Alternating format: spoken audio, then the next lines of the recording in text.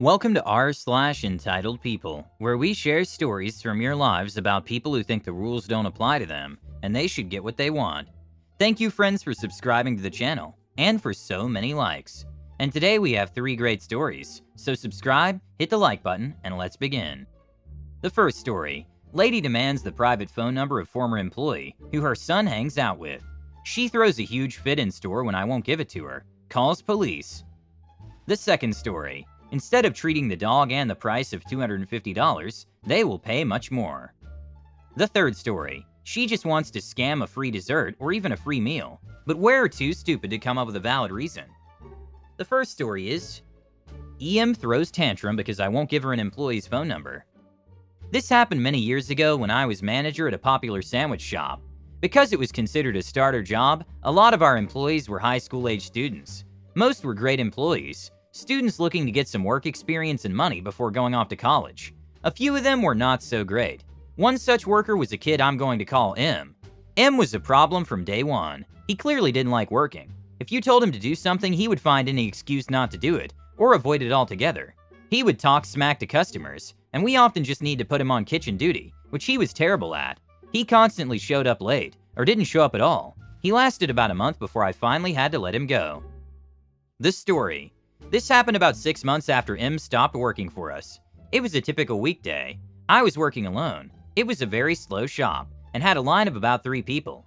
Enter the entitled mother. EM marched straight up to the till, bypassing the line. I need to speak to the manager. Me addressing her from the other end of the counter, where I'm still making a sub for the current customer. I'm the manager, ma'am. I'm happy to help you in a second if you don't mind waiting. EM, this is an emergency. I need help now. I excuse myself from the current customer and approach her. What's wrong, ma'am? EM. Do you have an employee named M working here? Me. We used to. He's no longer with us. EM. I need his phone number right now. Note, due to company policy at my work, we're not allowed to give away any personal or private information of our employees to non-family members, excepting for true emergencies. Me. Are you family? EM. No? Me. Why do you need it? What kind of emergency is it? EM goes into a long, rapid story about how her son and M are best friends. She says that M is a bad influence. He's gotten her son in trouble in the past, and she tries to keep them apart. Apparently, her son didn't come back from school yesterday. He still is missing and not answering his phone. She says she's sure he's with M getting into trouble again. She wants M's phone number to call and see if her son is with him. I politely tell her that I'm sure this is a very frustrating experience, but due to company policy, I cannot give away an employee's private information. I recommend calling the local police department and seeing if they can help. I offered to call them with her. I would have happily given M's number to a police officer if they deemed it necessary. EM throws a huge fit. I don't want to call the police. M has gotten my son arrested before. If I call the police, they'll just arrest him when they find him. I just want to call him to see if my son is with him, and to make him tell my son to come home. I apologize as that's the best thing I can think of. EM, get me your manager. Me, I am the manager, ma'am. EM, Get me the owner then. Me. He's on vacation on the other side of the world. I'm not to call him unless it's an emergency. EM. This is an emergency. Me. Not by his standards. How about I take your phone number and text it to him? He can call you when he wakes up. EM starts a string of profanity, but scribbled her number down on a napkin. While I'm texting it to my boss, she begins loudly whining to the other customers, who have been patiently waiting this whole time. I can't believe they won't give me his phone number. This is an emergency. My son is missing. Last time he went out with M, they got caught grafting a car and were arrested. I know that kid is with my son. Who knows what trouble he's getting him into? Can you believe she won't give me his number? Me. I've texted my boss your number and given him an update on the situation. If he gives me permission to pass on M's number, may I text it to you? EM. Why can't you just give it to me now? Me. As I said, we're not allowed to give out employees. EM. He's not an employee. You said it yourself. He hasn't been with you for a while. Me. We simply do not give out private information of our employees, current or former. EM starts another tantrum. This time, she actually pushes our cookie display onto the ground. She throws bags of potato chips at me while demanding the phone number. She runs up to the other customers in line and starts asking them to help get the phone number from me. She starts pleading with them for sympathy. I decided this had gone too far and start calling the police.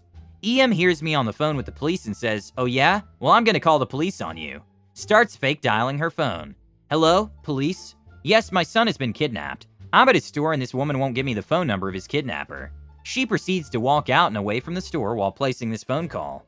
I go back to helping my customers. I apologize profusely to them. Most of them thought it was pretty funny. A very confused police officer showed up about five minutes later. I told him the story and gave him her phone number and her photo from our security camera. Another customer told the officer which direction she had walked away. He wrote down the information and said he'd follow up if he needed to contact him. My boss responded around midnight, and I updated him on what had happened. He was glad I hadn't given out any personal information. He was sure she was a crazy lady. I never did hear back from that lady or the officer, but it sure made for an interesting experience. The second story is Dog owner fined for $2,100. To begin with, I work as the puppy police, aka animal control for my area. We have a large array of responsibilities, but the most important cases we handle are animal bites, as this can be a human safety concern. While most people seem to think this means we show up to someone's house to catch some aggressive snarling dog, it's usually just an excited or defensive dog that lashed out. We got lots of cases of the dog owners or even their kids bitten by the family pet. In our state, if it bites someone, it needs to go into quarantine as mandated by state law.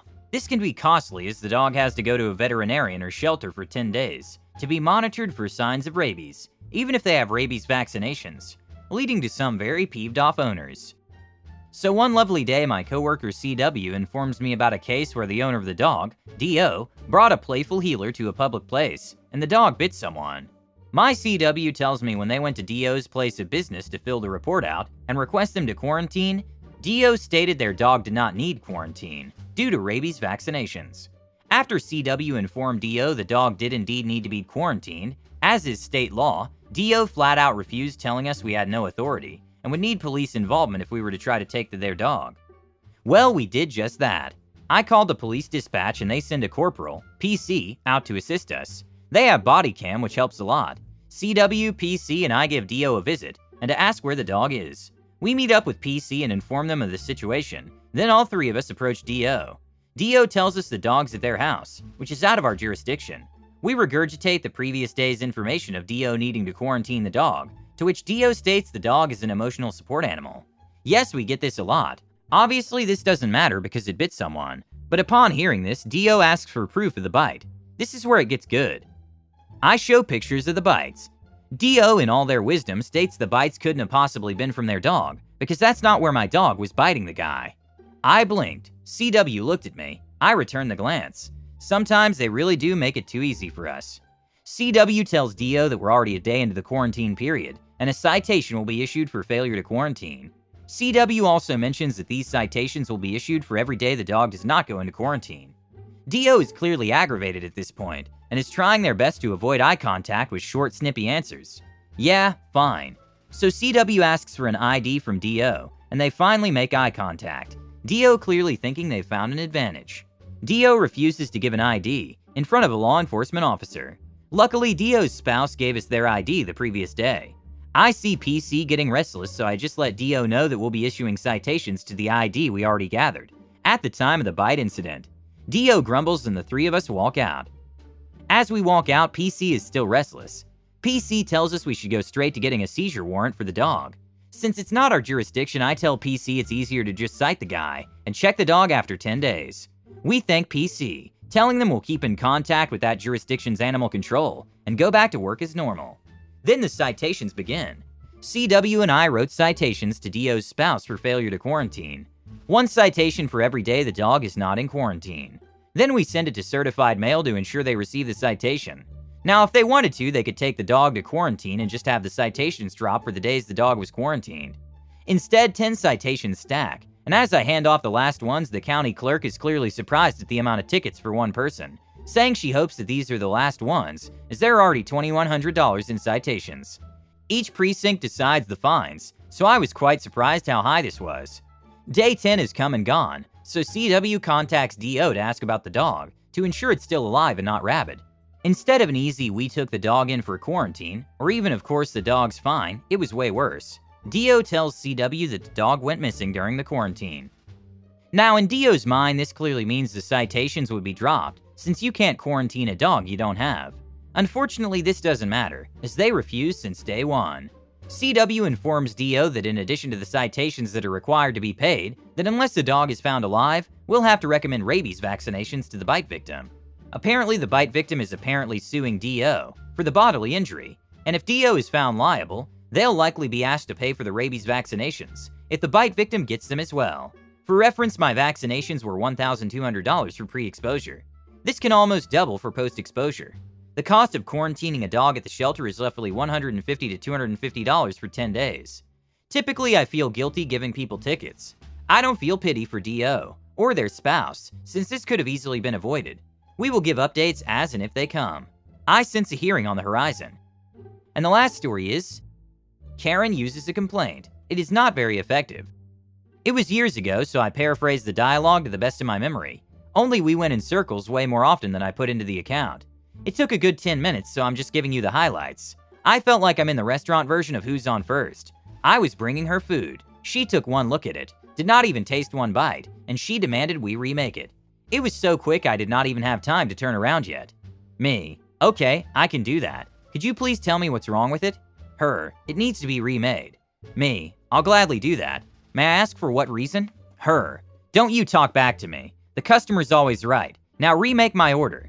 Me, I'm not talking back. I simply want you to tell me what's wrong with it. If we just send it back without knowing why you sent it back, how are we supposed to get the next one to your satisfaction? I really wanted to ask her if we're just supposed to waste more and more food without being told what's wrong, till we get it right by sheer coincidence. Her, well now it is getting cold. Me, when you got it it was hot, and you still wanted me to replace it, so what was wrong with it then? Her, this is horrible customer service. How can you just refuse to replace my food? Me, Please use your indoor voice. You're disturbing the other guests. As for your food, I'm not refusing anything. I'm simply asking you to tell me what's wrong with it so we can get it right. Her. This is it. I'm leaving. Me. Okay, I'll bring you your check. Her. You better take off my food. Me. Why? What's wrong with it? Her. That's it. Bring me your manager. Me. I am the manager on duty. How can I help you? That made her finally deflate and realize she's not getting anywhere if she cannot give me a valid reason. Yup, I made her pay, and offered to put it into a to-go box. She refused that. Man, I wanted to ask her so bad why she does not want to take it home, if there was anything wrong with it. If you cannot even tell why I should take it off the bill, I'm not taking food off the bill. You ordered this and there was clearly nothing wrong with it. I'm convinced this was an attempt to scam a free meal, but by complaining so fast, she shot herself in the foot. She could not claim anything with the taste was wrong, or something was no properly cooked or anything like that since she wanted it remade before she took even one bite, and that really limited her options here. And I guess she could not come up with anything, since she did not expect me to ask in the first place. Once I realized what was going on, I had to hold back my snark so hard. Like I wanted to ask her if I should leave to give her time to come up with something. I warmed it up during my break and enjoyed the heck out of it. It was perfect. Thank you for watching. Don't forget to subscribe and hit the like button.